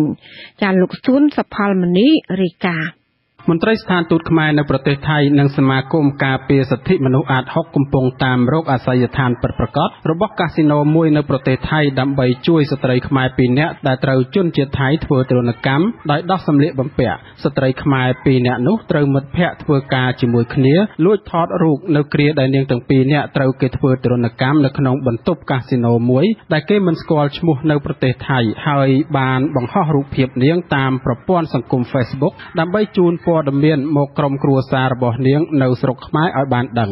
ក្រោយពីមានរូបបង្ហោះតាម Facebook គេបានឲ្យដឹងថាស្ត្រីជាជនរងគ្រោះទាំងពីរនាក់ម្នាក់មានឈ្មោះថាថាប់នីដាហៅស្រីដែននិងម្នាក់ទៀតមិនស្គាល់ឈ្មោះលោកស្រីកឹមនីត្រូវជាបងស្រីរបស់ស្ត្រីរងគ្រោះឈ្មោះថាប់នីដាហៅស្រីដែនដែលបានធ្វើដំណើរទៅរកកិច្ចអន្តរាគមន៍ពីស្ថានទូតខ្មែរនៅក្រុងបាងកកប្រទេសថៃលោកស្រីបញ្ជាក់នៅថ្ងៃទី16ខែធ្នូពីក្រុងបាងកកមកថាព័ត៌មានដែលគាត់ទទួលបានគឺប្អូនស្រីរបស់គាត់កំពុងជាប់ឃុំនិងរងការធ្វើទរណកម្មនៅក្នុងកាស៊ីណូមួយក្នុងក្រុងបាងកកប្រទេសថៃអ្នកគេឲ្យការពីក្នុងមកគ្នាចិត្តស្លាប់ហើយហ្នឹងវាវាដំវាធ្វើបាបយើងសពគ្រប់យ៉ាងទៅណាពីដំបូងថាមានគ្នាគ្នាតែដល់ពេលដឹងច្បាស់ទៅថាគេចាប់បានតែប្អូនគ្នាម្នាក់គេវាយធ្វើបាបហ្នឹងនៅក្នុងរូបភាពដែលគេបង្ហោះតាមប្រព័ន្ធសង្គម Facebook គឺនាងទាំងពីរនាក់ត្រូវបានគេដោះសម្លៀកបំពាក់ចេញអស់ពីខ្លួនសល់តែខោទ្រនាប់នៅក្នុងបន្ទប់កាស៊ីណូមួយដែលជាទីកន្លែងធ្វើទរណកម្មទៅលើរូបនាងនៅក្នុងក្រុងបាងកកប្រទេសថៃបងស្រីជនរងគ្រោះម្នាក់ទៀតឈ្មោះថាប់ចន្ទារស់នៅស្រុកមង្គលបុរីខេត្តបន្ទាយមានជ័យថ្លែងថាប្អូនស្រីរបស់គាត់ឈ្មោះថាប់នីដាបានទៅធ្វើការនៅកាស៊ីណូក្នុងក្រុងបាងកកអស់រយៈពេលជាង2ឆ្នាំមកហើយ នៅស្រុកថៃនាងតែងតែតាក់ទងតាមទូរស័ព្ទមកក្រុមគ្រួសារនៅស្រុកខ្មែររាល់ថ្ងៃប៉ុន្តែចាប់ពីថ្ងៃទី28ខែវិច្ឆិកាឆ្នាំ2013ក៏បាត់ដំណឹងសូន្យហើយក្រុមគ្រួសារទូរស័ព្ទពីស្រុកខ្មែរទៅក៏តាក់ទងលែងបានលោកស្រីបន្តថាលុះក្រោយមកស្រាប់តែឮដំណឹងពីមិត្តភ័ក្តិនាងនិងឃើញរូបភាពនាងត្រូវគេបង្ហោះតាមប្រព័ន្ធសង្គម Facebook ទាំងរូបកាយអាក្រាតជាមួយនឹងស្ត្រីម្នាក់ទៀតដែលគេមិនស្គាល់ឈ្មោះ នៅលើទៅតាមខ្សែរយៈមិត្តភ័ក្តិពួកម៉ាក់ហ្នឹងថាគេធ្វើតរណកម្មហើយនឹងតាមប្អូនជីដូនមួយរបស់ខ្ញុំហ្នឹងទេមកត្រាក់ហ្នឹងថាធ្វើតរណកម្មវៃខ្សាខោស្រាបអាវអីណាបង្ហោះ Facebook ហ្នឹងទន្ទឹមគ្នានេះក្រុមគ្រួសារជនរងគ្រោះបានសុំឲ្យស្ថានទូតខ្មែរនៅក្រុងបាងកកនិងសមាគមការពារសិទ្ធិមនុស្សអាត6ជួយអន្តរាគមន៍ក្នុងករណីនេះមន្ត្រីសម្របសម្រួលសមាគមអាត6ប្រចាំខេត្តបន្ទាយមានជ័យលោកសុំច័ន្ទគីបញ្ជាក់ថាតាមព័ត៌មានដែលលោកទទួលបានគឺជនរងគ្រោះឈ្មោះថាប់នីដាហៅស្រីដែនត្រូវម្ចាស់កាស៊ីណូចោទពីបទលួចលុយចំនួន7លានបាតបច្ចុប្បន្ននាងនិងស្ត្រីខ្មែរម្នាក់ទៀតត្រូវគេឃុំខ្លួនធ្វើទរណកម្មនៅកាស៊ីណូ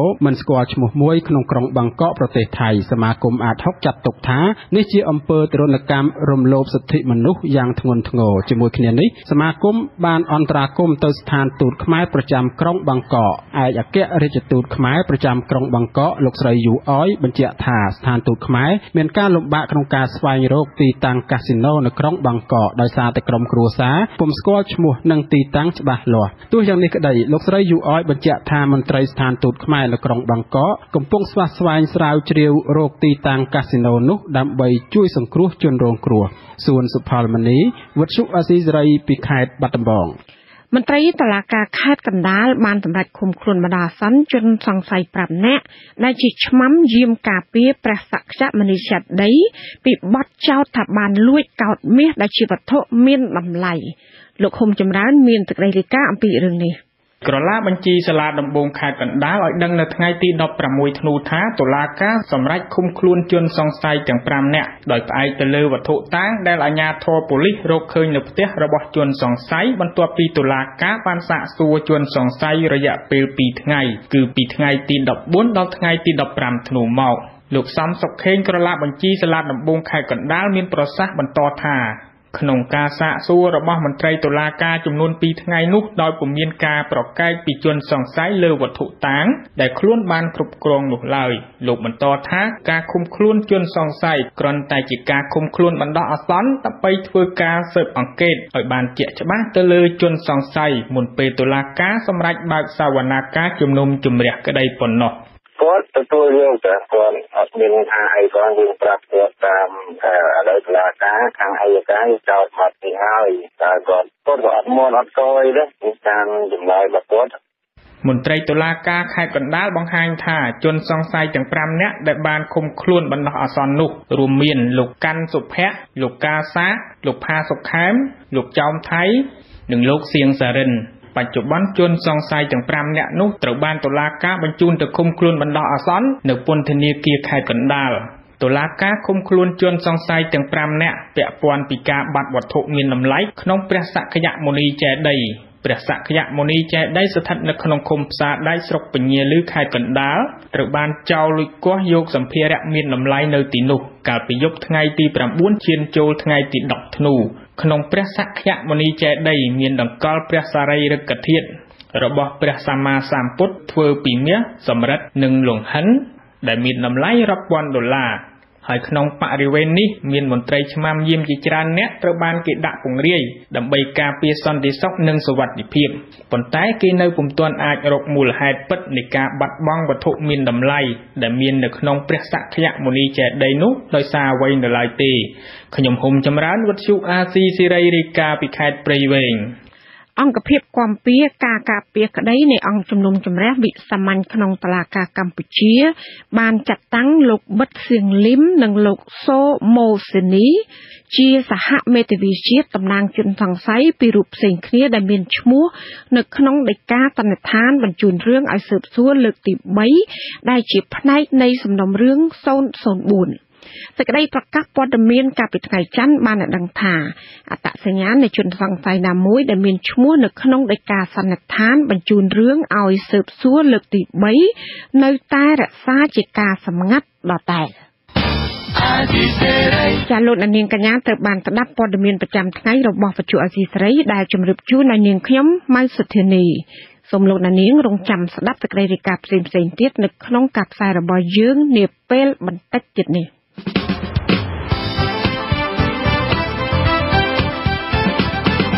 ចាលោកនាងកញ្ញានិងប្រិយមិត្តអ្នកស្ដាប់ជាទីមេត្រីនៅក្នុងកម្មវិធីផ្សាយជាបន្តទៅទៀតនេះយើងខ្ញុំមានសេចក្តីរាយការណ៍ផ្ដោតអំពី សហភាពសហជីពកម្ពុជាអំពាវនាវឲ្យកម្មករគ្រូបង្រៀនមន្ត្រីរាជការសិស្សនិស្សិត និងប្រជាប្រដ្ឋទាំងអស់ចូលរួមធ្វើបាតកម្មជាមួយនឹងគណៈបកសង្គ្រោះជាតិចាបញ្ហាបរិស្ថាននិងអនាម័យនៅទីលានប្រជាធិបតេយ្យ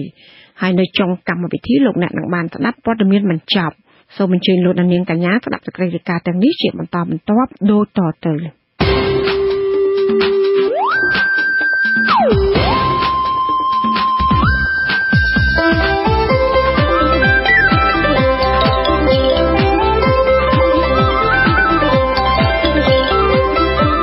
ក្តីរាយការណ៍ពិស្ដាចា លោកនាងជាទីមេត្រីសហភាពសហជីពកម្ពុជាកាលពីថ្ងៃទី16ខែធ្នូម្សិលមិញបានអំពាវនាវឲ្យកម្មករគ្រូបង្រៀនមន្ត្រីរាជការសិស្សនិស្សិត និងប្រជាពលរដ្ឋខ្មែរទាំងអស់ឈប់សម្រាកពីការងារនិងការសិក្សាបណ្ដោះអាសន្នដើម្បីចូលរួមមហាបដកម្មរបស់គណៈបកសង្គ្រោះជាតិទាមទារឲ្យលោកនាយករដ្ឋមន្ត្រីហ៊ុនសែនចុះចេញពីតំណែង និងរៀបចំការបោះឆ្នោតឡើងវិញអ្នកនាងទេពសារៈវីមានសេចក្តីរាយការណ៍ ប្រធានសហភាពសហជីពកម្ពុជាលោករងឈុននិងជាប្រធានសមាគមគ្រូបង្រៀនកម្ពុជាឯករាជ្យអំពាវនាវឲ្យមហាជនទាំងអស់ចូលរួមធ្វើមហាបាតកម្មឲ្យបានច្រើនកកកគោលបំណងនៃមហាបាតកម្មរបស់គណៈបកសង្គ្រោះជាតិលើកនេះគឺទម្លាក់នាយករដ្ឋមន្ត្រីហ៊ុនសែនចេញពីតំណែងនិងរៀបចំការបោះឆ្នោតឡើងវិញសហភាពសហជីពកម្ពុជាបានចេញសេចក្តីអំពាវនាវមួយនៅថ្ងៃទី16ខែធ្នូឲ្យសមាជិកសមាជិកាឈប់សម្រាកពីការរៀនសូត្រ ពីការបង្រៀនពីការងារនៅក្នុងស្ថាប័នរដ្ឋនិងស្ថាប័នឯកជនមួយរយៈ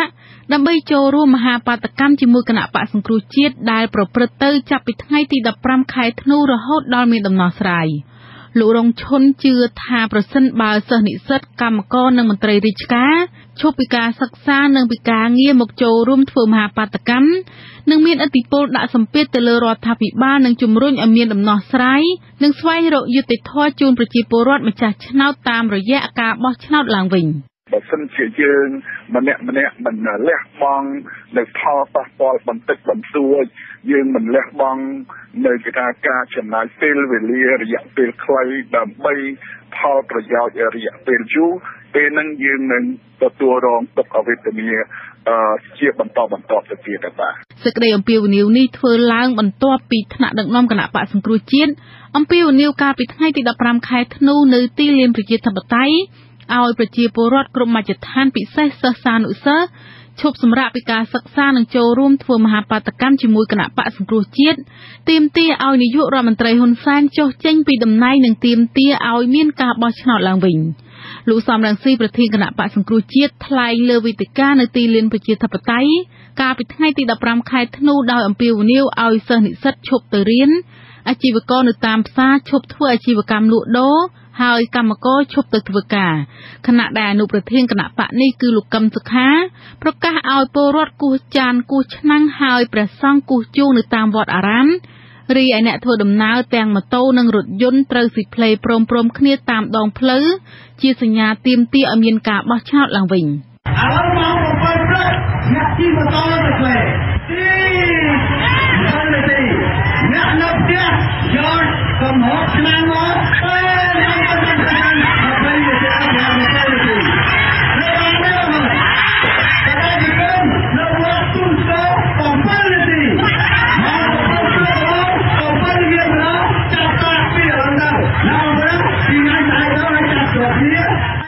ក់ព័ន្ធនឹងការអំពាវនាវឲ្យសិស្សានុសិស្សឈប់ពីការសិក្សាមួយរយៈ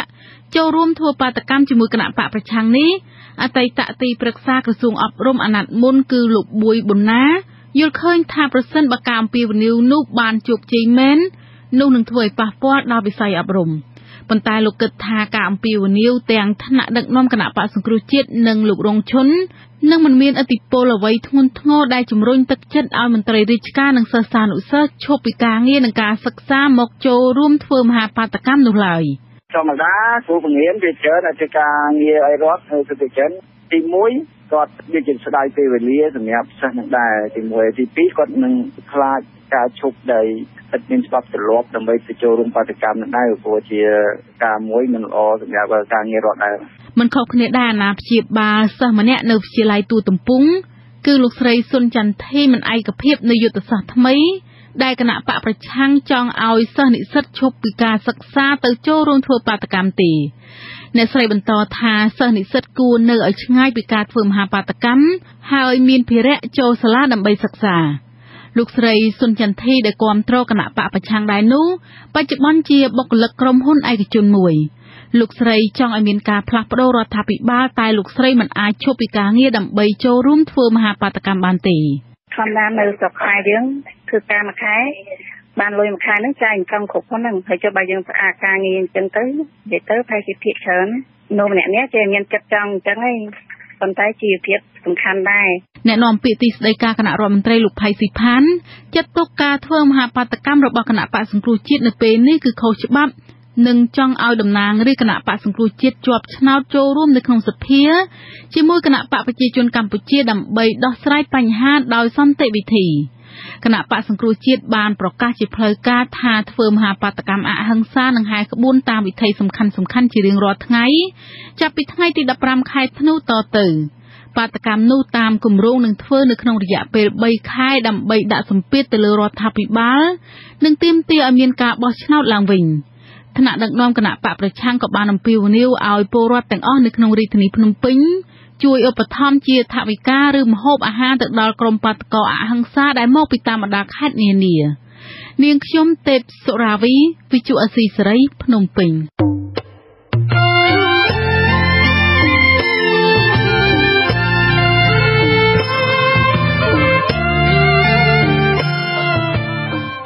ចាលោកនាងជាទីមេត្រីប្រជាប្រដ្ឋដែលបានមកចូលរួមធ្វើមហាបាតកម្មជាមួយនឹងគណៈបក្សសង្គ្រោះជាតិពីបណ្ដាខេត្តនានាបានត្អូញត្អែពីបញ្ហាខ្វះបង្គន់អនាម័យនៅទីលានប្រជាធិបតេយ្យចាពួកគេបារម្ភពីបញ្ហាសុខភាពនិងបរិស្ថានអ្នកស្រីអុកសាវរីរីកាអំពីបញ្ហានេះ ថ្ងៃទី2នៃបាតកម្មរបស់គណៈបកសង្គ្រោះជាតិនៅទីលានប្រជាធិបតេយ្យមានការរិះគន់ថាបង្គន់អនាម័យនៅខ្វះបន្ទប់ច្រើនទៀតឯសម្រាមមិនទាន់បានដឹកចេញក្រៅតែក៏មិនទាន់មានអ្នកឈឺធ្ងន់ធ្ងរដែរគណៈប្រជាពលរដ្ឋច្រើនពាន់នាក់បន្តស្នាក់នៅដើម្បីគាំទ្របាតកម្មគណៈបកសង្គ្រោះជាតិការរិះគន់នេះបានធ្វើឡើងពីក្រុមអ្នកចូលរួមបាតកម្មជាមួយគណៈបកសង្គ្រោះជាតិដែលទាមទារឲ្យលោកហ៊ុនសែនចុះចេញពីតំណែងនិងរៀបចំការបោះឆ្នោតឡើងវិញ។ ជនជាតិដើមភាគតិចក្រឹង លោករ៉ាន់សៃលឿនមកពីភូមិថ្មដាសង្កាត់បឹងកន្សែងខេត្តរតនគិរីថ្លែងថាបង្គន់ងាយស្រួលប្រើប៉ុន្តែវាខ្វះបន្ទប់មិនអាចបំរើអ្នកប្រើប្រាស់បានទាន់ពេលមនុស្សរងចាំតតតគ្នាជុលគុណអញ្ចឹងមិនបានសូវច្រើនអត់ដូចវគ្គមុនមុនថ្ងៃ23ដុល្លារនោះនឹងសម្បូរសម្បូរគុណតែឥឡូវអត់សម្បូរបានទេ ជនជាតិដើមភាគតិចកំពួនមកពីឃុំកិចុងស្រុកបកែវខេត្តរតនគិរីសូមមិនបញ្ចេញឈ្មោះថ្លែងថា នៅក្នុងមូលដ្ឋានគាត់មិនមានបង្គន់អនាម័យប្រើទេព្រោះជនជាតិភាគតិចមិនសូវនិយមបង្គន់ប៉ុន្តែនៅពេលគាត់មកដល់ទីក្រុងភ្នំពេញគាត់គិតថាអ្នកនៅទីក្រុងប្រកាសជារស់នៅស្អាត មានអនាម័យតែបែរជាមានអ្នកបន្ទោបង់ក្រៅបង្គន់ នៅពេលគាត់មកស្នាក់នៅក្នុងទីលានប្រជាធិបតេយ្យគាត់ឃើញថាខ្វះបន្ទប់បង្គន់ទំនងមូលហេតុនេះបានជាមានអ្នកបន្ទោបង់ក្រៅបង្គន់ការប្រើប្រាស់បង្គន់អនាម័យនៅកន្លែងទីលានប្រជាធិបតេយ្យនេះវាអាក្រក់ណាស់វាកក្រិចទី1ទី2ទៀតឲ្យខាងដែលគ្រប់ស្ថាប័ននឹងឲ្យធ្វើបកកើតជា2ទៀតបង្គន់2ទៀតទាំងអស់នឹង20បន្ទប់បានបានគ្រប់គ្រាន់ ជនជាតិដើមភាគតិចចារាយលោករមេស្វាងថ្លែងថាគាត់ចេះប្រើបង្គន់អនាម័យហើយព្រោះមានទឹកសម្បូរងាយស្រួលចាក់លាងសម្អាតប៉ុន្តែបន្ទប់បង្គន់មិនទាន់គ្រប់គ្រាន់តាមចំនួនអ្នកចូលរួមបាតុកម្មទេ បាទចេះប្រើតិចតូចមានទឹកគេចាក់គឹងតោបាទមានក្លិនស្អុយខ្លះអ្នកខ្លះអត់ចេះអនាម័យផងហើយអ្នកខ្លះវាចេះអ្នកខ្លះវាអត់មនុស្សភាគច្រើនវាធម្មតា ជនជាតិចាមលោកម៉ាត់អ៊ីសាមកពីឃុំសេដាស្រុកដំបែខេត្តកំពង់ចាមអះអាងថាបង្គន់ងាយស្រួលប្រើប៉ុន្តែមនុស្សច្រើននៅបន្ទោបង់ក្រៅបង្គន់នាំឲ្យក្លិនជះមកមិនសូវល្អដែរដល់អ្នកដែលស្នាក់នៅក្នុងរោងទីលានប្រជាធិបតេយ្យហ្នឹងហើយដើម្បីសន្សំហ្នឹងយើងគិតថាយើងទុកមានផលិតផលរបស់យើងគេរៀបទៅធ្វើជីធ្វើអីទេណាវាទៅជាកសិកម្មគេប្រមូលទៅទៅនេះហ្នឹងក្រៅពីបន្ទប់បង្គន់នៅខ្វះខាតចំណែកសម្រាមក្នុងទីលានប្រជាធិបតេយ្យ មានការប្រមូលស្អាត និងច្រកក្នុងថង់ខ្មៅធំធំដាក់នៅក្រៅទីលាន ប៉ុន្តែមិនទាន់មានរថយន្តដឹកសម្រាមនោះចេញទៅក្រៅនៅឡើយ។ លោកសានស្រីមមកពីឃុំអំពិលក្រៅស្រុកស៊ីធរកណ្ដាលខេត្តព្រៃវែងឲ្យដឹងថាពលរដ្ឋមកពីទីជិតឆ្ងាយនៅខ្វះខាតការយល់ដឹងដែរក្នុងការបោះចោលសម្រាមទន្ទឹមនោះក្រុមហ៊ុនប្រមូលសម្រាមក៏មិនទាន់ដឹកសម្រាមយកចេញទៅក្រៅនាំឲ្យខ្យល់បក់មកបណ្ដាលឲ្យក្លិនផ្អូមនៃកាកសំណល់និងក្លិនឆ្អេះនៃអ្នកបន្ទោបង់ក្រៅបង្គន់ធ្វើឲ្យប៉ះពាល់សុខភាពអ្នកស្នាក់នៅយូរក្នុងទីលានដែរគាត់ថាបរដ្ឋបរិយអញ្ចឹងទៅខ្លះទៅក៏ចេះឬខ្លះទៅក៏មិនចេះជួយថែអនាម័យគ្នាដែរ ចុះចំពោះលោកផ្ទាល់លោកទៅដាក់សម្រាមយ៉ាងម៉េចខ្ញុំហូបហើយខ្ញុំតែងបើសិនរបស់តូចខ្ញុំដាក់កប៉ាវបើសិនរបស់ធំខ្ញុំដាក់មានថងខ្ញុំផ្សេងបាទដាក់ហើយប្រមូលរបស់គេរបស់ឯងនឹងដាក់ថែមទៀតម៉ូលបដាបដាអញ្ចឹងតែហ្មងទៅក៏ល្អម្យ៉ាងដែរធ្វើសិនយកចាំហើយហ្មងគេលូកកោច្រើនបាទ តំណាងក្រុមហ៊ុនសិនទ្រីលោកសេងចម្រើនឲ្យដឹងថាសម្រាមនៅជុំវិញទីលានប្រជាធិបតេយ្យគឺមានកម្មករអូរ៉ូតេសដែលប្រមូលយកសម្រាមទៅដាក់ក្នុងកុងតឺន័រមួយដែលបញ្ឈរនៅប៉ែកខាងជើងទីលានលោកថាកុងតឺន័រនោះដាក់បញ្ឈរដើម្បីឲ្យអ្នកចូលរួមបាតកម្មយកសម្រាមទៅបោះនៅទីនោះនិងដើម្បីឲ្យរថយន្តងាយស្រួលប្រមូលយកតែម្ដងដឹកចេញក្រៅលោកបន្តថាបច្ចុប្បន្នសម្រាមគឺដឹកចេញនៅពេលយប់ព្រោះចរាចរណ៍ពេលយប់ងាយស្រួលបើកបរជាងពេលថ្ងៃដែលចង្អៀត ក្រៅពីសម្រាមមិនទាន់ដឹកចេញនិងបន្ទប់បង្គន់អនាម័យនៅខ្វះខាត គេឃើញមានក្រុមយុវជនប្រុសស្រីមួយក្រុមបានដើរចែកសម្លីមានអបប្រេងខ្យល់ចែកជូនអ្នកគាំទ្រគណៈបកសង្គ្រោះជាតិនៅថ្ងៃទី2នៃការធ្វើបាតកម្មទាមទារឲ្យបោះឆ្នោតឡើងវិញអ្នកសម្របសម្រួលក្រុមសង្គ្រោះបឋមលោកឆាយលៀងឆេងឲ្យដឹងថាក្រុមយុវជនស្ម័គ្រចិត្តសង្គ្រោះបឋមឯករាជ្យមានគ្នា30ទៅ40នាក់បានបដូរគ្នាក្នុងការជួយសង្គ្រោះមនុស្សដែលស្នាក់នៅក្នុងទីលានប្រជាធិបតេយ្យលោកអះអាងថាអ្នកមកចូលរួមបាតកម្មរយៈពេល2ថ្ងៃនេះមិនទាន់មានអ្នកឈឺធ្ងន់ទេច្រើនតែឈឺពោះឈឺក្បាលនិងផ្ដាសាយក្រុមយុវជនបានដើរក្នុងទីលានប្រជាធិបតេយ្យតាមដានសុខភាពពួកគាត់ទាំងយប់ទាំងថ្ងៃបំណងឲ្យពួកគេមិនមានជំងឺធ្ងន់ធ្ងរ ពេលច្រើនយើងអាចផ្ដល់ជូនគាត់នៅប្រេងខ្យល់ឬប្រេងកាឡាឬក៏តកតនឹងការសង្គ្រោះបឋមតកតជាមួយនឹងការគាត់ញ៉ាំញ៉ាំទឹកឲ្យច្រើនអញ្ចឹងណាដែលយើងធ្វើតាមលទ្ធភាពឬក៏យើងអាចផ្ដល់ជាថ្នាំតិចតួចដូចជាតារ៉ាបញ្ចុះកម្ដៅដល់គាត់ប៉ុណ្ណឹងយើងអត់មានលទ្ធភាពច្រើនយ៉ាងនេះទេចល័តគ្នាក្នុងមួយវេនអបមកថាពេលព្រឹកចល័តគ្នាប្រហែលអ្នកហើយល្ងាចប្រហែលអ្នកយប់សម្រាប់ប្រហែលអ្នកបាទជាទូទៅយើងមាន6 7ក្រុមហើយក្នុងមួយក្រុមមានគ្នា4ទៅ5នាក់ក្នុងការធ្វើការហើយយើង ទេគ្នាសម្រាប់អ្នកណាដែលគាត់តនេពេលព្រឹកគាត់អញ្ជើញមកព្រឹកអ្នកណាថ្ងៃគាត់មកថ្ងៃហើយអ្នកខ្លះគាត់តនេពេលយប់គាត់អាចមកវេនពេលយប់ព្រោះយើងអត់បានកំណត់ព្រោះថាពេលខ្លះគាត់រវល់គាត់បានមកប៉ុន្តែអ្នកដែលគាត់តនេគាត់នឹងមកសាក់ចិត្តមកចំណែកវិជ្ជបណ្ឌិតអ៊ូចវុធីប្រធានសមាគមគ្រូពេទ្យគុណធម៌កម្ពុជាថ្លែងថាតាំងពីយប់ថ្ងៃទី14និងទី15គឺពីយប់មកនេះមានអ្នកសម្រាកក្នុងទីលានប្រជាធិបតេយ្យមិនទាន់មានអ្នកឈឺធ្ងន់ទេ តែមានអ្នកចំពប់ជើងដួល2នាក់រាកឈឺក្បាលផ្ដាសាយចុកដៃជើងដោយសារការដើរដង្ហែក្បួនលោកបន្តថាជុំវិញបញ្ហាខ្វះបន្ទប់បង្គន់អនាម័យហើយមានមនុស្សបន្ទោបង់ក្រៅបង្គន់ក៏អាចជះក្លិនអាក្រក់ដល់អ្នកសម្រាកដែរមូលហេតុនេះបានជាគណៈបកសង្គ្រោះជាតិបានជួលថែមបង្គន់5បន្ទប់ទៀតដើម្បីបន្ថយការប្រជ្រៀតដណ្ដើមគ្នាចូលប្រើបង្គន់អឺយប់មិញនេះមានបញ្ហាតិចតួចទេអត់មានធ្ងន់ធ្ងរទេដូចជា រាករូសឈឺក្បាលហើយគ្រុនក្តៅអីចឹងបាទហើយនឹងចុកដៃចុកជើងដែលគាត់បានដើរសំដែងមតិគាត់មកវិញមានចុកដៃចុកជើងហ្នឹងយើងបានព្យាបាលគាត់តាមសភាពការភ្លាមភ្លាមបាទបាទអត់មានបញ្ហាធ្ងន់ធ្ងរអីទេបាតកម្មរបស់គណៈបកសង្គ្រោះជាតិបានប្រកាសធ្វើរាល់ថ្ងៃរយៈពេល3ថ្ងៃចាប់ពីថ្ងៃទី15ខែធ្នូទៅដើម្បីទាមទារឲ្យមានការបោះឆ្នោតឡើងវិញ នាងខ្ញុំអុកសាវបូរីវិទ្យុអាស៊ីសេរីភ្នំពេញ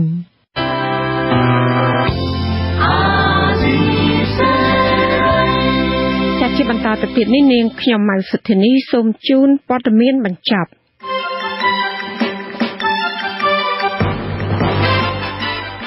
កម្មករកម្មការិនីរោងចក្រនៅតំបន់សេដ្ឋកិច្ចពិសេស Manhattan និងតំបន់សេដ្ឋកិច្ចពិសេសតៃសេនៅក្រុងបាវិតប្រមាណជាជាង30000នាក់បានប្រមូលផ្ដុំគ្នាធ្វើកោតកម្មដើម្បីតវ៉ាទាមទារលក្ខខណ្ឌការងារកាលពីម្សិលមិញប៉ុន្តែមន្ត្រីការងារខេត្តថ្លៃរៀងអះអាងថា គេពុំទាន់បានដឹងពីមូលហេតុច្បាស់លាស់នៃការធ្វើកោតកម្មព្រមៗគ្នារបស់កម្មករទាំងនោះនៅឡើយទេ។ ប្រជាប្រដ្ឋមានបញ្ហាដីធ្លីជាមួយនឹងក្រុមហ៊ុន MDS របស់លោកអុកញ៉ាទ្រីភិបនៅខេត្តពោធិ៍សាត់ប្រមាណជា100នាក់បានប៉ះទង្គិចជាមួយនឹងកម្លាំងសមត្ថកិច្ចមួយប្រាវបណ្ដាលឲ្យស្ត្រីម្នាក់ឆ្លាស់កជើងខាងឆ្វេងកាលពីព្រឹកថ្ងៃទី16ខែធ្នូម្សិលមិញមន្ត្រីអង្គការសិទ្ធិមនុស្សបានចាត់ទុកសកម្មភាពរារាំងរបស់អាជ្ញាធរនិងកម្លាំងសមត្ថកិច្ចមិនឲ្យប្រជាពលរដ្ឋមានបញ្ហាពិតប្រាកដចូលទៅស្ដាប់ ឬក៏បង្ហាញពីទុកកង្វល់របស់ខ្លួននៅក្នុងវេទិកាផ្សព្វផ្សាយនិងពិគ្រោះយោបល់របស់ក្រុមប្រឹក្សាខេត្តនេះគឺជាការបំបិទសិទ្ធិបញ្ចេញមតិ។ អាជ្ញាធរឃុំស្រែនុយនិងខេត្តសៀមរាបបានរារាំងដំណើរប្រជាពលរដ្ឋប្រមាណជា80នាក់មិនអោយបន្តឡើងទៅតវ៉ារឿងដីធ្លីនៅក្រុងភ្នំពេញបានទេកាលពីម្សិលមិញទំនាស់ដីធ្លីរវាងប្រជាពលរដ្ឋនិងទាហាននៃវរៈសេនាតូចលេខ254បានកើតមានរយៈពេលជិត1ឆ្នាំមកហើយហើយពុំមានដំណោះស្រាយណាមួយសមរម្យចំណែកក្រុមសហគមន៍ជនជាតិភ្នងនៅភូមិចំនួន3ក្នុងខេត្តមណ្ឌលគិរី កំពុងប្រមូលស្នាមមេដៃអ្នកភូមិដើម្បីគ្រប់គ្រងញាត់ជាថ្មីទៀតទាមទារឲ្យអាជ្ញាធរខេត្តដោះស្រាយសំណើបដូរភូមិរបស់ពលរដ្ឋពីក្នុងព្រៃមករស់នៅតាមផ្លូវអភិវឌ្ឍដោយក្រុមហ៊ុនសម្បទានតំណាងអ្នកភូមិអះអាងថាការយឺតយ៉ាវឆ្លើយតបនៅសំណើរបស់ប្រជាពលរដ្ឋនឹងនាំឲ្យកើតមានអំពើរំលោភសិទ្ធិជនជាតិដើមភាគតិច កាន់តែធ្ងន់ធ្ងរពីសំណាក់អាជ្ញាធរ ក្រុមគ្រូបង្រៀនគ្រប់កម្រិតសិក្សានៅខេត្តឧត្តរមានជ័យបានត្អូញត្អែថាប្រាក់បៀវត្សសម្រាប់ខែវិច្ឆិកាឆ្នាំ2013របស់ពួកគាត់ក្រសួងអប់រំឬស្ថាប័នពាក់ព័ន្ធមិនទាន់បើកជូនទេគិតមកដល់ថ្ងៃច័ន្ទម្សិលមិញបញ្ហានេះក្រុមគ្រូបង្រៀនទទូចស្នើដល់រដ្ឋមន្ត្រីក្រសួងអប់រំជាពិសេសគឺថ្នាក់ដឹកនាំរដ្ឋាភិបាលជួយមានវិធានការ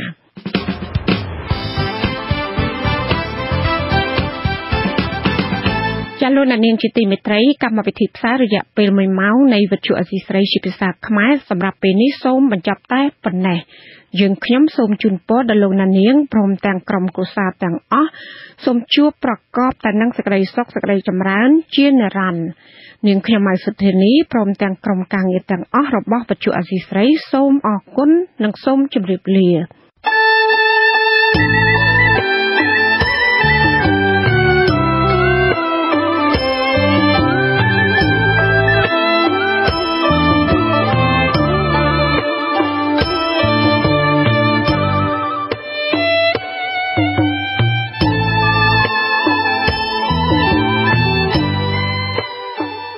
lớp nện của mình. Nó rất khó, nhưng những bệnh nhân thành công nhất của tôi là những người đã từng được chuẩn đoán là họ sẽ sống không còn bao lâu nữa hoặc họ sẽ bị tàn tật. Họ quyết định cần phải thay đổi cách sống và họ thành công tuyệt vời. Theo bác sĩ Iverson, việc thay đổi cách ăn cần phải được tiến hành từ từ, từng ngày một mà không nên đột ngột, vì nếu không sẽ rất dễ khiến người ta nhanh chóng quay lại cách ăn cũ. Để thay đổi vị giác, vốn quen ăn và uống đồ ngọt giả sang thức ăn và đồ uống có vị tự nhiên, bác sĩ Everson cũng áp dụng một chế độ ăn kiêng ngắn trong một tuần mà theo ông rất hiệu quả. The same thing with all of our foods. We are so used to having dressings and sauces and all different flavorings on our food.